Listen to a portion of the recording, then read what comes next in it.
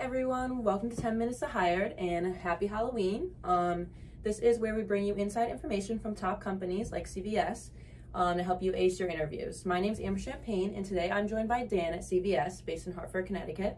Um, I kind of want to start off by saying this is just going to be a less of an overview um, and more of what students should know the night before an interview and how to stand out in their upcoming interviews.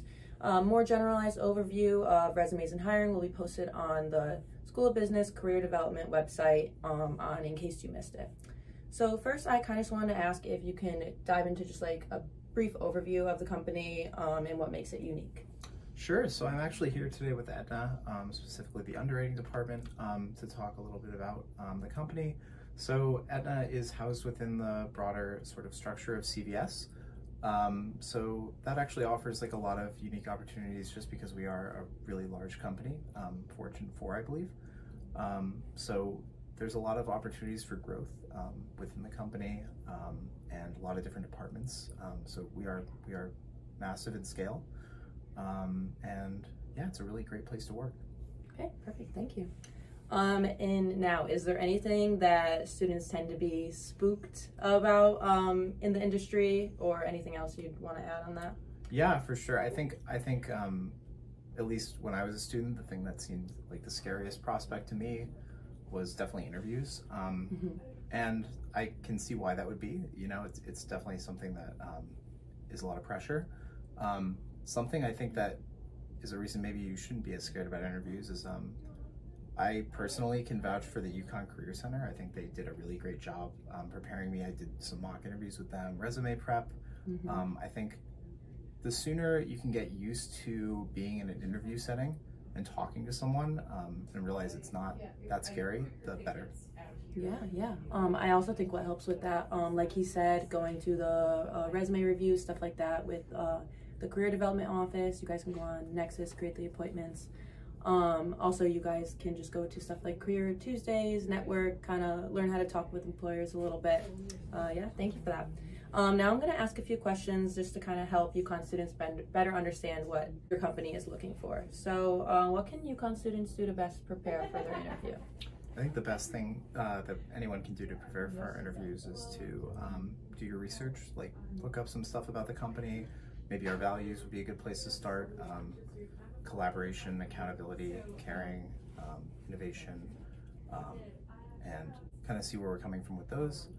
Um, definitely dress for success, I would say, for an interview. Um, and bring a note-taking device or a, a notepad, um, Padfolio would be great too, just to show that you're um, you're interested and you're you're you're taking this information in. Definitely also come with an idea of sort of what things specifically within the company you would be interested in. Mm-hmm. Um, you know, what departments, what projects you might like to do, um, and once again, I can't I can't stress enough how great the Career Center is at UConn. So, thank you. Sure. Thank you. All right. Um, so, is there any uh, tricks students should do to stand out in their interview?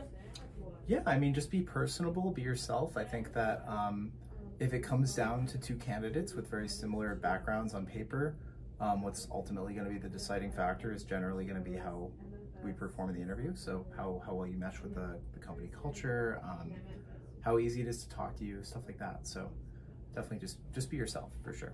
Perfect. Okay.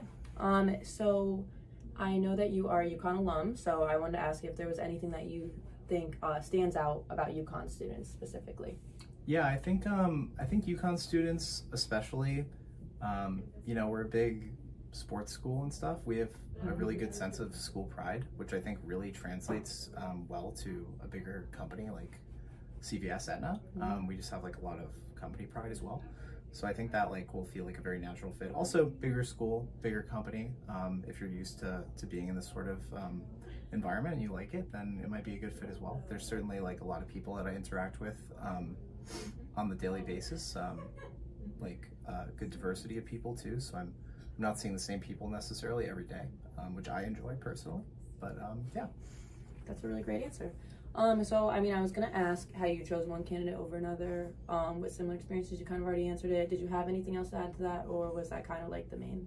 No, I think that's I think that's great. I mean, maybe it'll come down to technical skills, but I think it'll mostly mm-hmm. be the soft skills that the we're skills. that okay. we're that we're evaluating in the interview. Yeah. Okay. All right. Is there anything else that you want to add to our discussion today? Um, Oh no, we look forward to seeing you guys if um, if you do end up applying um, and hearing from you. Um, happy Halloween. okay. Perfect. Thank you. All right. So thank you for taking the time to interview with us. Um, we hope that students can watch this video and feel better prepared for their upcoming interviews or just have an easier time deciding what companies to apply to. Um, we're going to leave Dan's contact information down below. Feel free to reach out if you have any questions, comments, concerns. And uh, thank you for watching 10 Minutes to Hired.